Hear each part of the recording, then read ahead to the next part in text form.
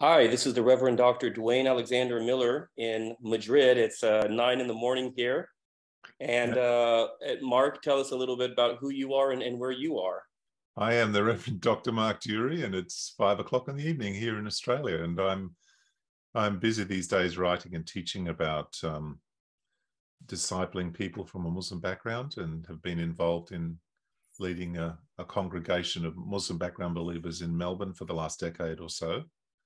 Um, so I'm very interested in the in the the challenge of discipleship, and I, actually think that probably this is one of the greatest challenges facing the church today is discipleship in general, but particularly in Muslim background believer communities, there are quite acute issues that are, are fundamental. And why do you see that as a particularly urgent uh, urgent matter or urgent issue? Well, it's chronic. Um, it's urgent for Muslim background believers because millions are turning to Christ. And the risk is that this harvest will rot out in the fields. It won't be brought into the barns. the risk is that people will fall away in disappointment and frustration because the discipleship is not effective. So it's about building healthy churches and um, working out how to do that in in these Islamic contexts. And uh, there's a lot of evidence that that there has been more attrition than is really acceptable or, or you know it's it's deeply concerning that you see people coming to Christ often in the midst of miracles and through a powerful intervention of God and then they falter and fall back or or the result is a church that is sort of half baked. It's not it's not on a good track and a lot of divisions and conflicts and difficulties. So um, I think there's this view often in the West that the challenge is to evangelize the world, but I think the challenge is to disciple the world.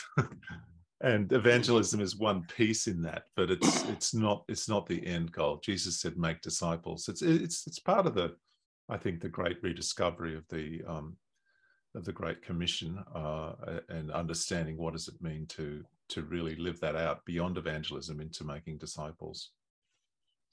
Yeah, so let's talk about some of the ideas and maybe the strengths and some weaknesses. You know, you and I have talked about this before. You and I have, I think, I think we've met in person one time at the Assemblies of God Theological Seminary, but we've been in touch with each other for for multiple years. You and I have both published on kind of the more practical aspect of of reaching Muslims with the gospel, and then what we're talking about here, not just the evangelism, but actually helping them to grow into you know mature fruitful um, disciples of christ who hopefully will then go on and make other disciples which i think is the model that jesus has in mind. But i think in the evangelical and just the protestant world when we look at the, the 20th century and the beginning of the 21st century we have some some trends about discipleship and what that means to make disciples um, and, and, maybe some of the limitations and problems with uh, some of those uh, one of the most clear one that, that comes to my mind is that discipleship is a, a program. You know, discipleship is here are five lessons to disciple people, or you know, here's a book that has a discipleship program that is going to work in all these different contexts. There's not anything necessarily wrong about that, but it seems like a very curtailed, truncated vision of, of discipleship. What, what are your thoughts on on on that? Yeah, I think in the 20th century, in the 30s, 40s, and 50s, there were a number of um, Western, sort of broadly evangelical discipleship movements that were launched, including Navigators, um, Campus Crusade for Christ, InterVarsity, and they all have these programmatic characteristics. And um, Don Little has called these movements modernist in the sense that they, and I think it's not a bad term, in the sense that they see human beings being able to kind of master their spiritual environment through process that is that is managed and broken up into steps and and stages and phases and um, the the vision behind this i think is multiplication. That is if, if one person could just uh, disciple five people for example and they discipled five people and they discipled five people you know in in two or three generations, the whole world would be disciples. So mm-hmm. there's this there's this kind of logic, and I think it's it's also been part of the, the the freeing up of the laity. This you know in the past, before these movements, um, discipleship was really, in some ways, the province of the clergy, pastoral care. It was part of pastoral care, I think, um, mm-hmm. and catechesis. And so these these um, Protestant movements have have really uh, aimed at raising up lots and lots of lay people who are all discipling other people. And I think there's been a great impact through that. Uh, Billy Graham's missions were often associated, linked with navigator disciple teams that would come. So these approaches have spread very widely throughout the Protestant churches around the world. Um, they, I mean, I'm thankful for them. I think I, I know many of my colleagues who, who are in ministry and effective are, are continuing as Christians because they were discipled through a process such as this, often at university um, someone took an interest in them, met with them, read the Bible with them, took them through the steps, uh, and it's been effective. So I'm thankful for that. But I, I, don't think these methods work very well for Muslim background believers for a number of reasons. Um, and uh, and I, I, suspect there's lots of missionaries trying to apply these processes in in mm-hmm. Islamic context, but often with um, great disappointment and frustration. Yeah, and and that observation. Now you, you're focused more on discipleship. I published, I think it was last year, a book called um, "I Will Give Them an Everlasting Name: Pastoral Care for Christ Converts from Islam," um, and and without getting too much into it, I think pastoral care and discipleship overlap, but I think we can distinguish between the two. But but but they have a lot of uh, final concerns uh, in common. You know, and so that that was part of what inspired me to to do that uh, to write that book which is a short little book and, and quite easy to read. I think you could easily finish it in a weekend or so. And, it's not a technical book. It's it I, I tried to write something that was very practical.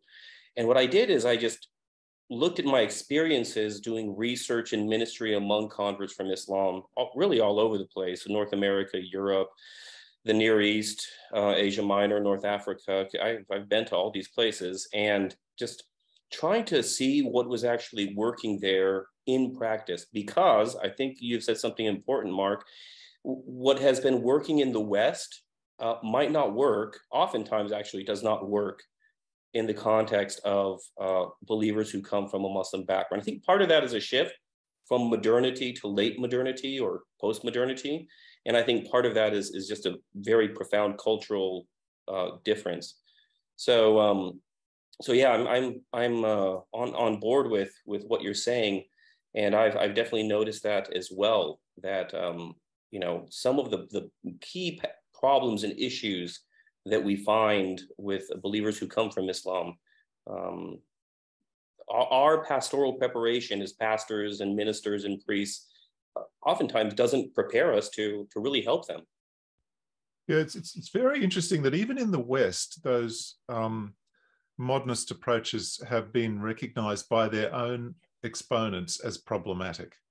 Um, uh, one book that discusses this is This Kingdom Life, which contributions by Dallas Willard and others, and it, it lists a whole series of things that these modernist disciples would like to see discipleship doing, which it hasn't been doing.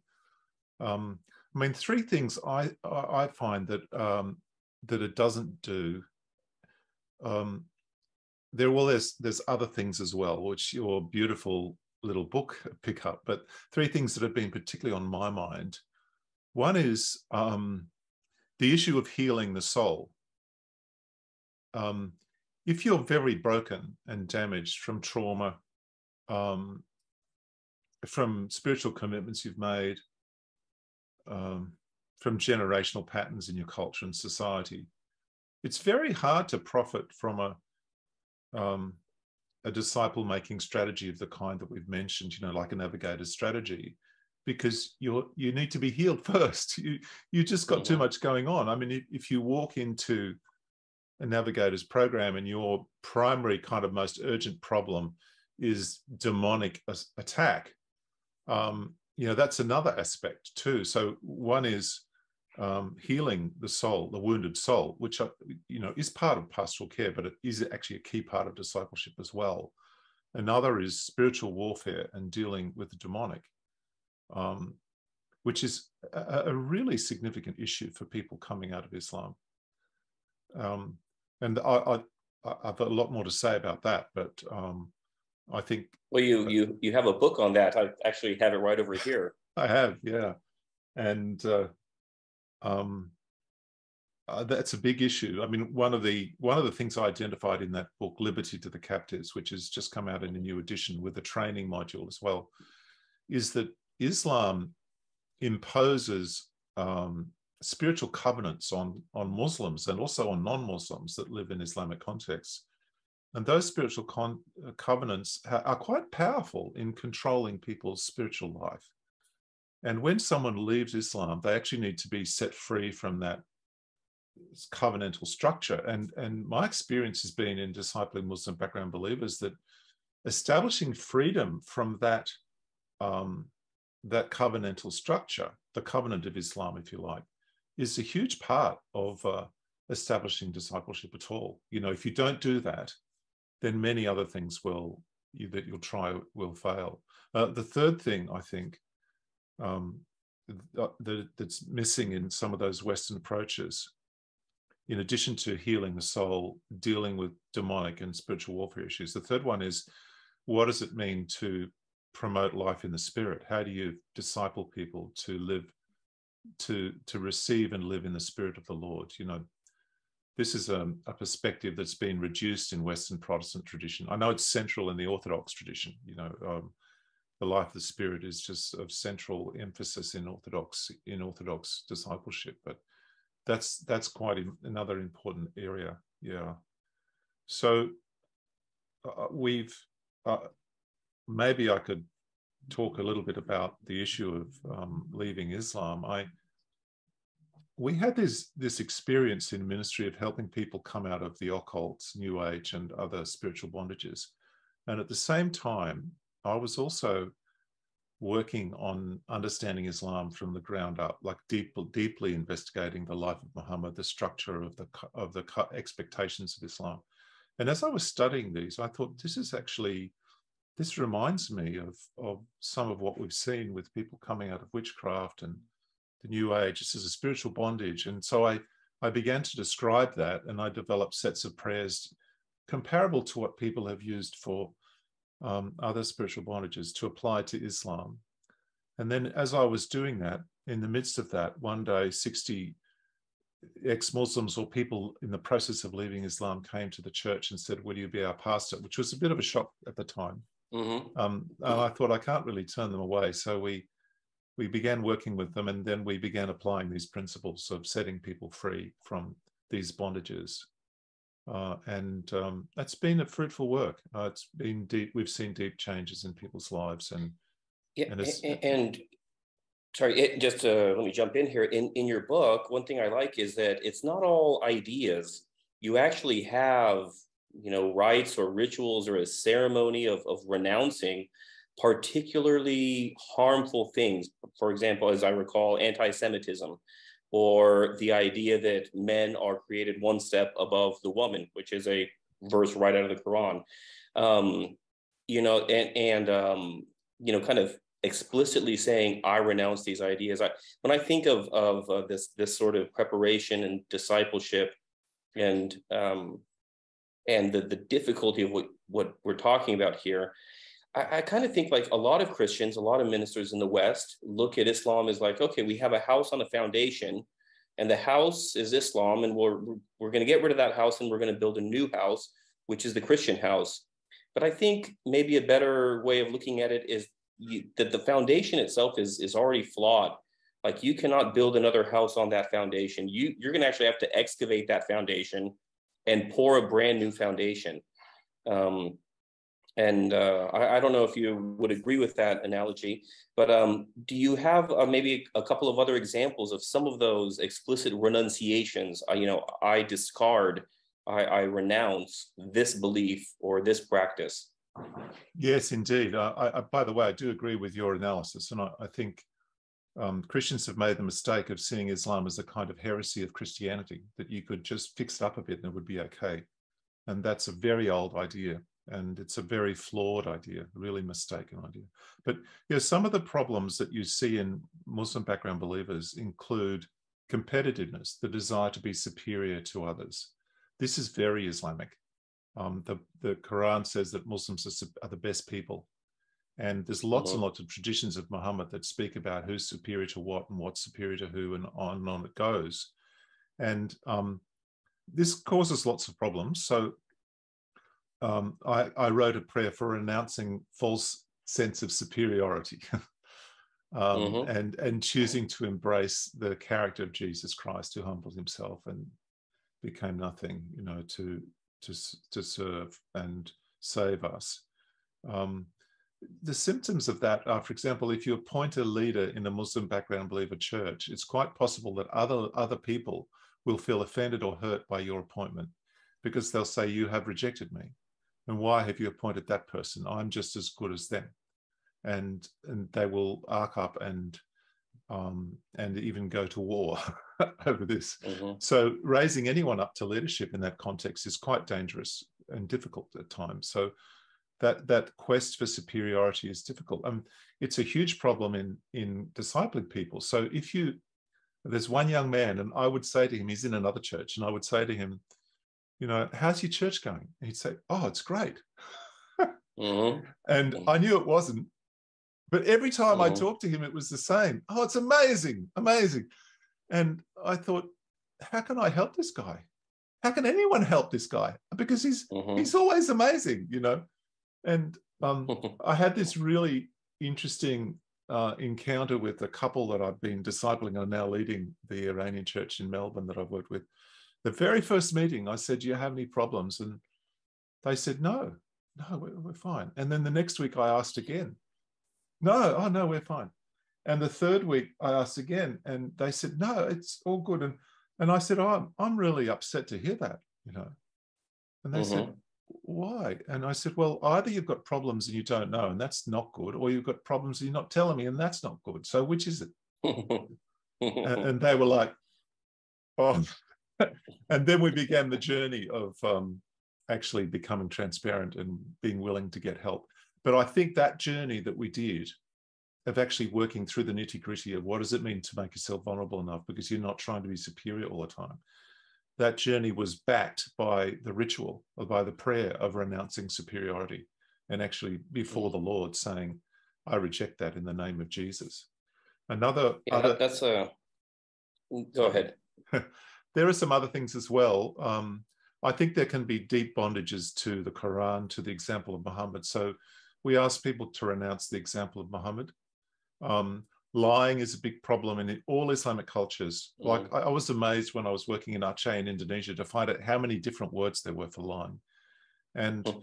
um, the root of it is that Islam actually promotes and even commands lying in some contexts. For example, a husband should lie to his wife to keep a happy marriage, or it's permissible to lie to reconcile friends or reduce conflicts. You're allowed to lie if you would otherwise reveal a crime that you've committed that nobody else knows about. Muhammad would rebuke people who confess to him that they'd done wrong.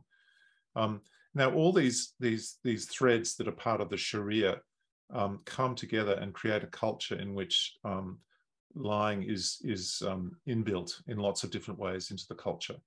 And so when someone comes to Christ to actually learn to tell the truth, which also relates to this issue of transparency and discipleship, is difficult. And so, as part of the preparation for baptism, when people are renouncing Islam, we we ask them to renounce lying and deception, and and um, you know you know really challenge that as a spiritual bondage. You know, it's something that is deep in the soul, really. Um, mm-hmm. so yeah, these these things have um, been significant, very significant. Um, anger. One young man had problems with really bitter anger, and um, losing his temper. And when he came to renounce the example of Muhammad, he couldn't say the words. And he was shocked because he said, Oh, I haven't been following this for years. But he, he would say, I renounce, and he couldn't say the word. So I'd, oh, oh, this is a sign of a, of a hold, you know, a spiritual hold. So we took him through that and just strengthened him and reminded him of his identity in Christ. And he was able to, to renounce the example of Muhammad. But what changed in his life was that he, um, the anger went away. He was set free from anger. And he became a really effective discipler and encourager of others when he was released from that. So, um, yeah, it's been it's been really exciting to see to see the fruit uh, in people's lives. Yeah, uh, you mentioned the word vulnerable, and uh, I, I think that's a very interesting word, and I've I've heard that come up in a lot of different spiritual and religious contexts in, in the last couple of years. I think it went from being something that people didn't really talk about very much to being something that, that there's a general sense that vulnerability is something very important.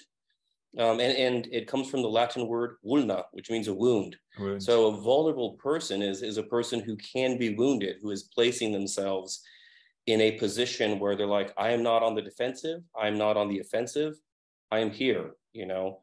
Um, and uh, and that's really hard for the human being, especially when you're coming from uh, like an honor shame culture where you know not being able to open yourself up to being wounded or to being discredited or to being insulted um, or to be undervalued or whatever that is uh, that's so important i really like what you're uh, saying about and i think i do i think about baptism here which is such a, an important um, sacrament or rite.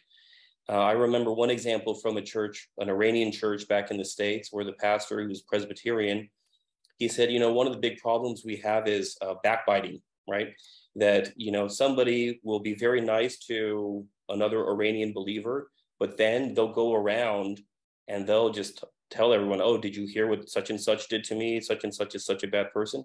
So they actually built it into their baptismal liturgy uh, that that if if somebody insults you, that you're going to follow the example that Jesus gave, and you're going to go directly to that person and address it with them. Um, and uh, so, I mean, that's just one example of of of an awareness and, and of an effort to try to uh, address some of these issues. That's in terms beautiful, of the, yeah, beautiful thing to do, and and very very important. There's a word in Farsi for it, ta'aruf, which is to put on a fake face. You know, it's it's part of the mm-hmm. culture. It's very recognized. Yeah.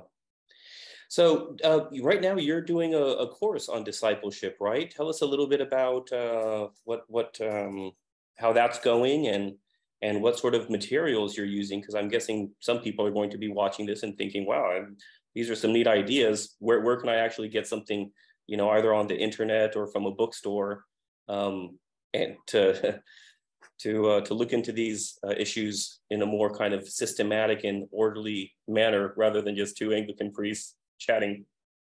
Well, I must admit I've learnt a lot from Don Little's course on um, which he offers through the Wesley Bible Seminary and um, the Lilias Trotter Center on discipleship and church planting in in Muslim context.